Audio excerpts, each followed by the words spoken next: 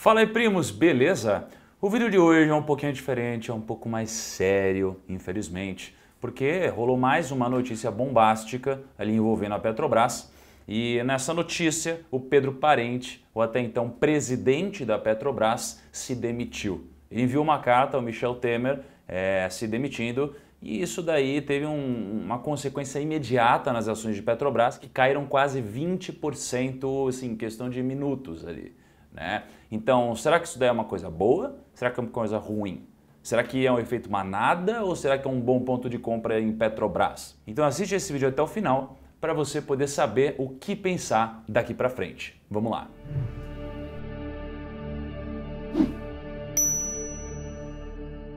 Antes de mais nada, se você não conhecia aqui o canal do Primo, não deixe de se inscrever e clicar no sininho para ativar as notificações. Agora, se você já é inscrito, não deixe de clicar no gostei, que isso ajuda demais o vídeo a atingir mais pessoas e levar essa mensagem tão importante aos outros primos por aí.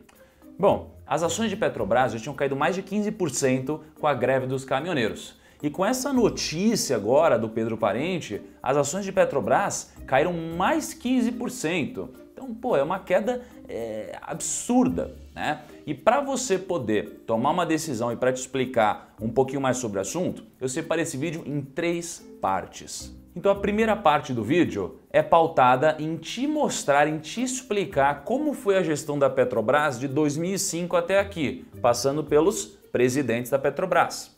A segunda parte do vídeo vai ser pautada em eu te mostrar o impacto em números dessas presidências na Petrobras. E a terceira parte do vídeo vai ser te explicando o que de fato a gente pode concluir e esperar de Petrobras e até um pouquinho da economia daqui para frente. Bom, então vamos lá. Eu vou falar sobre quatro presidentes aqui. Eu vou falar sobre o José Sérgio Gabrielli, depois sobre a Graça Foster, depois sobre o Aldemir Bendini e depois finalmente sobre o Pedro Parente. Então eu vou começar ali em 2005 e vou continuar até 2018. Vamos começar então por 2005 com o José Gabrielli. Bom, José Gabrielli assumiu a presidência em 22 de julho de 2005. Ainda no governo Lula, ele ficou por sete anos no poder da Petrobras, até que ele saiu em 13 de fevereiro de 2012. Então, no período do Gabrielli, o que, que aconteceu? Aconteceu aquela coisa chamada de pré-sal. Né? Até eu lembro que o Gabriel anunciou isso daí como o maior plano de crescimento do mundo. Né, do mundo, olha isso. Mas obviamente a gente só descobriu que era um grande campo minado ali é, na próxima gestão, na gestão da Graça Foster. Então a Graça assumiu ali em 2012 e só na gestão dela que a gente ficou sabendo sobre aquele esquema de Passadina. Lembra aquela é, refinaria comprada por um preço um pouquinho acima do normal? E a gente soube também que 42 bilhões de reais dos 59 bilhões que as empreiteiras ganharam foram na gestão do Gabriele. Ganharam entre aspas, ok? Só que durante todo esse período, né, a gente não teve só coisa negativa não. A Graça Foster, na gestão dela, é, teve bons números, aumento de produção. Né? A Petrobras começou a produzir mais. Só que isso daqui era apenas um número positivo no meio de vários outros negativos. E no meio de tanta coisa, tanto rolo, corrupção, é, pipocando nas mídias e tudo mais, ela teve uma pressão muito grande para renunciar. E de fato ela renunciou no dia 4 de fevereiro de 2015 e aí deu espaço para o Aldemir Bendini assumir o cargo da presidência. E a grande missão do Bendini era tirar a Petrobras da lama, porque até então ela estava com a lama até o talo. E aí o que, que aconteceu? O Aldemir Bendini estava passando por aquele problema, lembra? Da Dilma, impeachment e tudo mais. E aí, com toda essa pressão, ele também renunciou. e aí ele deu espaço para o Pedro Parente assumir. Mas olha que interessante. Um ano depois, o Bendini foi preso na Operação Lava Jato. Olha que problema. E aí o Pedro Parente assumiu a presença da Petrobras em 30 de maio de 2016. E a grande missão dele novamente, era tentar tirar a Petrobras da lama. Só que ele foi muito bem recebido pelo mercado porque ele era conhecido como um bom gestor de crises, então o mercado gostou dessa vinda dele. Né? E a gestão dele foi muito conhecida pelo controle de preços e também é, pelo que aconteceu com a greve dos caminhoneiros. E aí, o final você já sabe, ele também pediu demissão do cargo. Mas beleza, como que, agora que a gente contextualizou tudo, como que os números foram refletidos durante essa gestão. Isso é muito importante para você formular uma opinião sobre a Petrobras ou sobre o mercado. Então eu vou falar aqui sobre três números importantes. Eu vou falar aqui sobre o valor de mercado da Petrobras em cada gestão, sobre a dívida líquida da Petrobras em cada gestão e sobre a valorização das ações no mercado, tá bom? Então vamos lá. Ó, primeiro, na gestão Gabriele, quando ele pegou a Petrobras, a Petrobras estava avaliada em 128 bilhões de reais. Quando ele largou a Petrobras, a Petrobras estava avaliada em 330 bilhões de reais. Tá? Graça Foster pegou a Petro com 330 bilhões e entregou a Petro com 118 bilhões. Tá? Bendini pegou a Petrobras com 118 bilhões de reais e entregou a Petrobras com 125 bilhões de valor de mercado. E aí o Pedro Parente pegou a Petro com 125 bilhões de valor de mercado e ele entregou a Petrobras com 271 bilhões em valor de mercado. Mas vale dizer que um dia antes da greve dos caminhoneiros, a Petrobras está avaliada em 368 bilhões de reais, ok?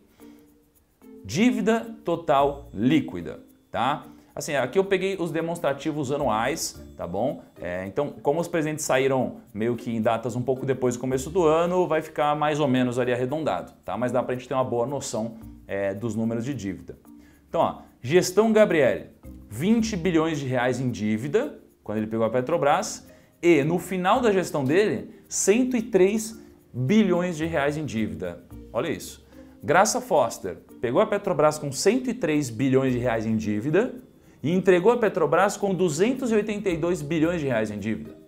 O Bendini pegou a Petro com 288 bilhões de reais em dívida e entregou a Petro com 392 bilhões de reais em dívida. Olha o que estava acontecendo. A dívida estava aumentando loucamente, tá? Então, o Pedro Parente pegou a Petrobras com uma dívida de 392 bilhões e entregou-a né, com 281 bilhões de reais em dívida, tá bom? Uh, retorno das ações, contando com dividendos. Gestão do Gabriele. Ações ON e PN. Tá? É porque Petrobras no mercado você tem Petro 3, ações ordinárias, Petro 4, ações preferenciais. Gestão Gabriele. Ações ON, 107% de alta, ações PN, 130% de alta.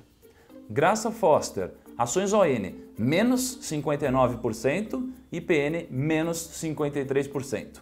Gestão Bendini, 17,17%, PN menos 8,11%. Gestão parente, 110% na ON e 126% na PN. Isso até 31 de maio, tá? já incluindo essa queda da greve dos caminhoneiros. Ou seja, o que, que a gente viu aqui? A gente viu que a gestão do Pedro Parente ela teve um resultado bom para o investidor, é, ela diminuiu a dívida da empresa, e ela aumentou o valor de mercado da empresa também.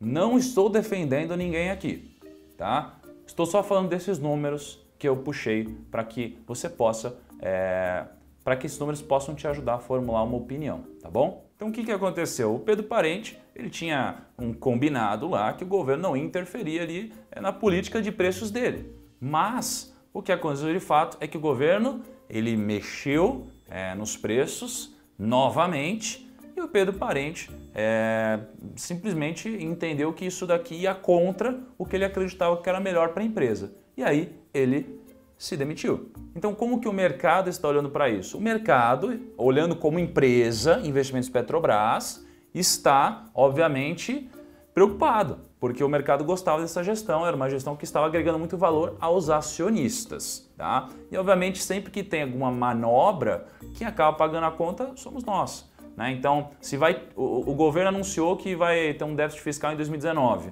Pô, se o governo vai absorver alguma coisa aqui, ele vai tirar de outro canto. Tá? Então já tem várias notícias pipocando na internet da onde o governo pode acabar tirando. Já foi confirmado que o próximo presidente da Petrobras vai ser o Ivan Monteiro, que tem uma característica mais técnica de fazer a gestão.